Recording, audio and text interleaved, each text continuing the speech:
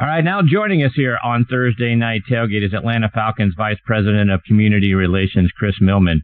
Chris has been with the Falcons since 2007, starting out as a manager in the Community Relations Department, and he has grown in roles and responsibilities over that time, leading to his current role as Vice President. Prior to joining the Falcons, he spent three years in the Community Relations Department for the Jacksonville Jaguars. He's got his degree in public relations from the University of North Florida and a master's in sports leadership from Duquesne University in my hometown of Pittsburgh. And I'm very excited he is with us tonight here on Thursday Night Tailgate. Hey, Chris, thanks for coming on the show. Hey, happy to do it. So, Chris, before we get into all the great things that you and your team are doing here in the Atlanta community, got to ask you, as a guy from Pittsburgh, how'd you go from North Florida to Duquesne? Well, I uh, I actually, it's a funny story uh, was able to do my uh, master's degree while I was working full time with the Jaguars. So I was able to do it online, and it was in the early days of online degrees.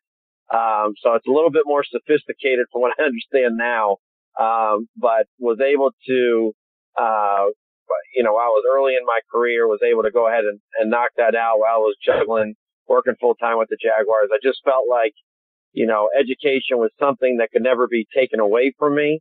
Uh, you know, obviously jobs can come and go, but education is there with you forever. Uh, so while I was early in my career, my wife was, uh, working on her doctorate in school. So I said, you know, if I'm ever going to do this, now's the time. And so I was, tr- I was able to find a, a, a university that had a, uh, master's program that I was interested in that was offered online. And it was a small, uh, university up there in Pittsburgh, Pennsylvania, Duquesne University.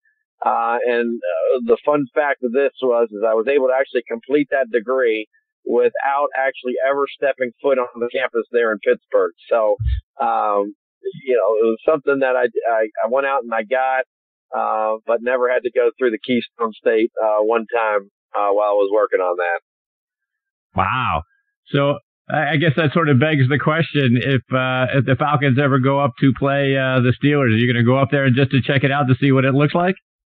Yeah, we've actually been up there a couple times uh, since I since I've been here, and, and have been been able to go up there. And uh, great place to visit. Uh, all of all of that. Uh, you know, it's just the way it was working out when I was young in my career. Uh, you know, didn't have a lot of discretionary income, but wanted to do the the online degree and get that done. And and uh, anyway, so have I yes, I have been to Pittsburgh since. That's great. Uh, let's switch gears a little bit. And Chris, we've got a lot of listeners who are veterans, and we want to continue to thank them for their service and the sacrifice you know they've made for our country and to protect all of us. And and you guys have a lot of events lined up for this Salute to Service Week. Talk about the things you have planned. Yeah, so we just finished actually about uh, last week. We uh, so I'll give you actually the, the the history on it. About four years ago, we decided as an organization that we wanted to do salute to service stuff better than anybody. It was getting to the point where, you know, the NFL, uh, had, you know, basically adopted salute to service as a league wide initiative and every NFL team was going to have their own salute to service game and whatnot, which is great and really, really cool. From our organization's perspective, we wanted to do something that was going to be completely authentic, completely real, completely make us stand out among the rest of the other 31 NFL teams um, so what we decided to do was develop a salute to service week. So during the month of November, uh, we have one week where every single day we're doing some type of different community outreach activity that gives back to either active duty or, or uh, military veterans.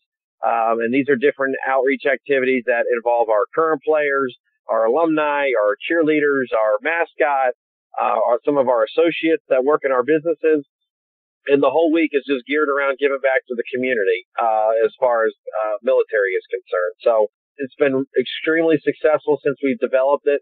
Uh, we actually had one of our, our corporate partners, Zaxby's, uh, which is a big uh, chicken finger establishment down here in the southeast, uh, who has a really strong passion for giving back to the military as well. And they heard about this week that we were doing, and they wanted to come in and join us and, and and have joined in our efforts here for the last three years. So, um, yeah, we, we had a number of activities that we did a, a couple of weeks ago that were all uh, extremely successful. And Chris, to that point, you talk about all the different activities you guys have been involved with. Talk about the things you're doing to help support the homeless veterans here in Atlanta.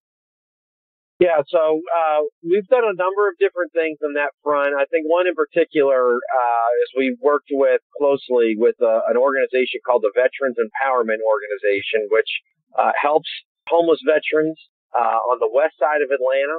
It's an organization that is probably about two miles from uh, Mercedes-Benz Stadium, and you know they're they're an organization that got an extremely dedicated leader in terms of finding ways to give back to homeless veterans. So one of our activities we did recently, and this was actually during Salute to Service Week, is uh, our associates and uh, and a number of our celebrities and whatnot attached with our organizations. We we put together care packages for these veterans um, that had all of the essentials, uh, you know, along with some Atlanta Falcons gear and that that kind of thing, and basically had these surprise delivered to this organization. Um, also, our, our Arthur M. Blank Family Foundation, uh, which is spearheaded by our owner, Arthur Blank, uh, has also given a few grants to this uh, particular organization. Uh, we hosted a practice back in training camp in August uh, at Mercedes-Benz Stadium, where we charged a five dollar uh, admission rate for our fans to come and watch, and all of those proceeds went to the VEO, the Veterans Empowerment Organization. Um, and we were actually able to donate over $250,000 because of that event to there. So we've done a number of different things to, to help and support them. And Chris, you guys also did a pretty cool event called uh, Battle of the Bases. Talk about what that is. Yeah, so as part of Salute to Service Week, we hosted a flag football tournament among uh, several military base installations uh, within our state. And we had some of our Atlanta Falcons players who came in and served as the coaches for the various teams. Uh, we also had one of our alumni players that was involved as a coach as well. Um, our owner, Arthur Blank, attended. Our head coach, Dan Quinn, attended. And it was just a, a, a way for these men and women to get together and have some camaraderie, compete against each other in what we think is the greatest sport in the world. We hosted it up at our, our Falcons training facility up in Flowery Branch. Um, and it was just a really cool competitive environment uh, in which we had uh, just a ton of fun uh, watching those guys compete against one another. And Chris, last month the team visited Luke Air Force Base out in Arizona when they were there to play the Cardinals. Talk about what the team did there. Yeah, so we, uh, our head coach, uh, Coach Quinn, each year when we have a situation with our schedule where our team may have two back-to-back games that are in the mountain time zone or the Pacific time zone or whatnot. Uh, a lot of times what he does, instead of the team traveling back and forth from the cities to Atlanta and back to the, to another city and back to Atlanta, uh, we've done this a couple times now where the team will actually go from playing in one city and will travel immediately to the other city and then spend the entire week, uh, in that particular city in which the game is going to be in played. So in this instance, this year, we had a game in Houston and then the following week we had a game in Arizona. So Coach Quinn decided, hey, let's have all of our, our entire team go out and spend the week in, in Phoenix. We'll set up shop there for the entire week. We'll practice.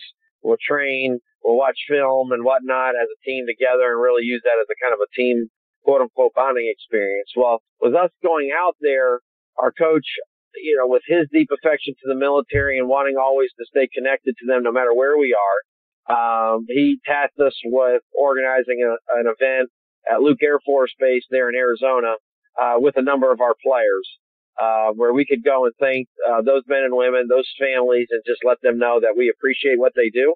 So in this instance, you know, again, uh, we don't really care if they're Atlanta Falcons fans or not. Uh, we're fans of them, so it was an opportunity for us to go sign autographs, take pictures, uh, do a tour of the base, get to see some of the uh, military equipment and whatnot that's being used on the base, and you know being able to just uh, give back. Chris, also, the team also did a Give Back to Atlanta event in conjunction with the NFL wide Hometown Huddle initiative. Talk about some of the events you guys participated in there. Yeah, so each year we uh, dedicate a, a day during the season where our entire team uh, will go out and give back to the community all at once. So the team will be broken up into 10 to 12 different groups and each group will go do some type of community outreach activity at a specific location. So this could be anywhere from going to a local elementary school and delivering, uh, whether it be gifts or flowers or whatnot to teachers to let them know that they're appreciated to going to some of the different children's hospitals in, uh, in town, uh, to, uh, this year we, we actually brought a, a food truck, uh, to a local fire station and our, our players and associates serve uh, lunch to the men and women there that were that were stationed. Um, so it's a lot of different type of types of activities like that. Uh, our event this year was was held in in October, and uh, it's honestly one of the days that we look forward to the most during uh, during the season uh, because it's just it's just a really really cool way uh, for us to show our city how much we appreciate their support. Uh, and it's a day, honestly, that our, our 53 players uh, really look forward to each year when we have that on the calendar. And Chris, in conjunction with this year being the NFL's 100th anniversary, you guys are involved in the Huddle for 100 event at the North Georgia Food Bank. Talk about that. Yeah, so what we've done is, is we've partnered with, we've actually partnered with all, with a number of food banks uh, in the state of Georgia uh, everywhere from the Atlanta Community Food Bank to uh, the the food bank out in Savannah uh, to the food bank up in Gainesville, Georgia, the Georgia Mountain Food Bank. And basically, what we've done is we've we've tried to en- encourage our fans to go volunteer uh, at their local food bank, and, and we made a real big push for this during the month of October this year uh, because the month of October is typically a time of the year where uh, our food banks here in our state really struggle with uh, whether it be do- donations or, or volunteers, uh, just due to uh, the November December timeframe typically being a really popular uh, time for people thinking about uh, giving back or people thinking about donating. So we partnered with uh, these food banks here in our state during that time to to just really try to showcase them and uh, we've been trying to just direct our fans to go and, and spend some time, whether it's an hour or, or a full day, uh, to help serve uh, the local hungry uh, in their particular area. Chris, just a couple more before we let you go. And uh, we had the privilege of interviewing Falcons president and CEO Steve Cannon back in August. He's a he's a military veteran. He attended West Point, spent several years in the Army. He's the Falcons nominee for the 2019 Salute to Service Award. And to just give everybody some background on what that award is, every year, all 32 teams nominate somebody who demonstrates an exemplary commitment to honoring and supporting the military community. And for three straight years now, someone from the Falcons organization has won that award. Dan Quinn won it back in 2016. Andre Roberts won it in 2017. Last year, Ben Garland, who's now with the 49ers, he won it. But Chris, remind our listeners about Steve's service and the initiatives that he's led for our military personnel. Well, Steve is just an unbelievable leader. Um, and the thing that I appreciate about him the most is, you know, he is a, a West Point graduate. Um, but when he says the word salute to service, um, he, he takes it to a whole nother level and a whole other meaning. And he's just a great resource for us as an organization to have because he's, he's, he has served, uh, you know, our nation at the highest level. So we're we're we're we're able to really uh, lean on him for his thoughts and direction a lot of times on what are those things that will really make the most impact. And you know, Steve is uh, the type of leader too, where uh, he's he's obviously got a lot of responsibility in his area, but he's also going to make time to to give back and and really put his money where his where his mouth is, and he's going to show up to these uh, you know, these veterans events. He's going to get out there and take trips with us to uh, Iraq and Kuwait when we did a USO tour last summer. Uh, he's going to join us when our coach wants to take 12 of our players up to West Point so we can do a, a leadership summit with some of the, the greatest leaders that our country has to offer. Uh, Steve's going to be a part of all that stuff, not because he has to, it's because he wants to. So when you have a leader like that, who wants to lead at the very highest level um, in this particular area and gives us the resources and whatnot to do so. uh, it makes our job in terms of putting all this stuff together just a, an unbelievable platform to really make a difference. Well, Chris, this is an amazing amount of stuff that you guys are doing in the community and for our, our military personnel and veterans. Are there other events that you have planned either for the holiday season or the remainder of the NFL season? Yeah, so Chris, I, I got to share with you uh, something that we've done for the last four years, uh, and I know all of the servicemen and women who are listening to this show will will really appreciate this. For the last four years, we've brought fallen hero families uh, and worked with an organization called TAPS. Uh, and for those of you that don't know, uh, TAPS is the Tragedy Assistance Program for Survivors, who just do amazing, amazing work to support these families to make sure uh, that there's programs and support for them, um, you know, grieving the loss of, of a loved one who served our country. Well, the last four years, our organization, led by our head coach, Dan Quinn, has brought 63 families to Atlanta for an entire weekend. And we put these families up in hotel accommodations. We host a, a big welcome dinner on the night that they arrive, Friday. On Saturday, we bring them up to Flowery Branch, uh, where our practice facility is located, so they can meet our entire team. Uh, and then Sunday, uh, they participate in some of our pregame ceremonies as well as the national anthem and, and then obviously have them stay for the game. You know, this year we raised the bar even, even more and we brought 94 TAPS families, uh, wow. to Atlanta for the entire weekend, uh, from all over the country. Flew them in. These are all different families that we've honored, uh, that we haven't honored before and it was a way for us to just wrap our arms around them for the for the weekend and let them know uh, their loved one hasn't been forgotten. A cool thing that we did last year, uh, which was another huge hit this year, is that we actually uh, alerted all of our suite holders in the stadium uh, and let them know that what we were doing this particular weekend encouraged them to host some of these families in their suite for the game.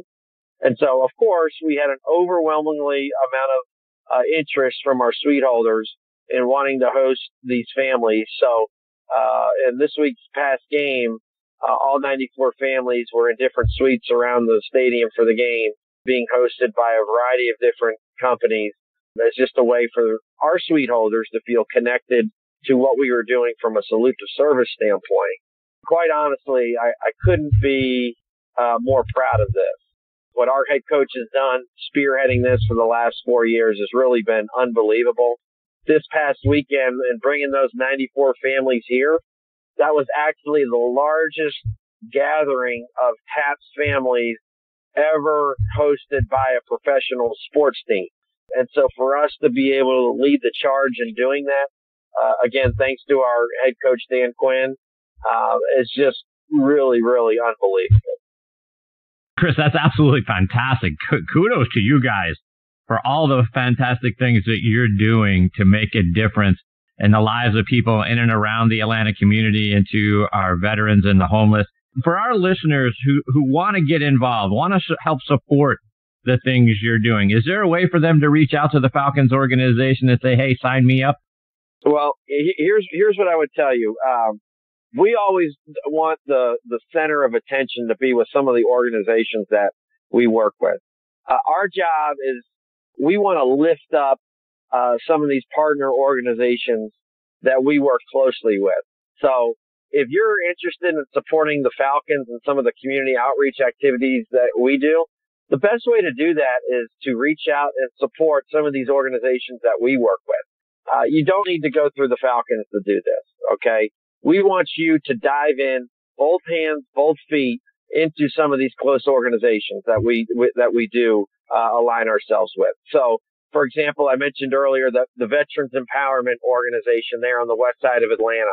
Oh my gosh, they could use volunteers, monetary donation, whatever, whatever it is, and however it is that you want to get involved. That's a that's the organization. That's a great organization to do it. Uh, I mentioned also the food banks around our state you know, our food banks are begging for donations. They are begging for volunteers. Great, great ways for you to give back to the community. And then lastly, we mentioned in TAPS. I mean, you know, when I first heard about TAPS and, and the programs that they do for their survivors, every time I'm around them, all I want to do is find more ways to help and support. Like, how can you not want to help and uplift these, with these families with all that they, they've gone through, all their loved one has gone through? We got to celebrate them. We got to support them and we got to figure out whatever way that we can to help to make sure that their loved one uh, is not forgotten. Well, I'll tell you what, Chris, I, I couldn't agree with everything you just said more. And we will certainly continue to pump out that information. Like, like we said uh, off the air, this is going to be a part of our spotlight on the positive segment. So we'll talk about those sorts of things and continue to pump that out. For our listeners that uh, want to at least stay up to date with all the great things the Falcons organization is doing here in the Atlanta community and follow those things online or on social media, what's the best way for them to do it? Yeah, so we a tremendous Twitter account, is titled Falcon CR, F A L C O N S, the letter C, the letter R. It is really, really uh, updated quite frequently to showcase all the great things we're doing in the community. When we do have different opportunities and whatnot, that that is on there as well. Um, so I'd highly encourage uh, all of our listeners, Twitter, uh, Instagram, to please give us a follow to stay uh, updated and, and in the know on all the great things that's going on. Well, Chris, I can't thank you enough for taking time out of your night to come back and be here as a part of the show. And uh, we hope you'll come back and keep us updated from time to time on all the great things you're doing, continuing uh, to be a part of our spotlight on the positive segment. We really appreciate you guys and all you're doing. Hey, thank you for what you're doing, and thank you to all the men and women out there. Uh, happy Veterans Day that are that are serving, who have served, who are currently serving. Uh, we appreciate everything uh, that you do for our country. Thank you for that, Chris. Take care, my friend. All the best to you and your family and everybody there at the Falcons organization. Looking forward to being a part of the Salute to Service uh, game on Sunday against the Bucs. We'll be there. But thanks for uh, taking your time and, and letting us know about all these great things, and we'll we'll continue to stay connected. We appreciate you. Thank you so much. Take care, Chris.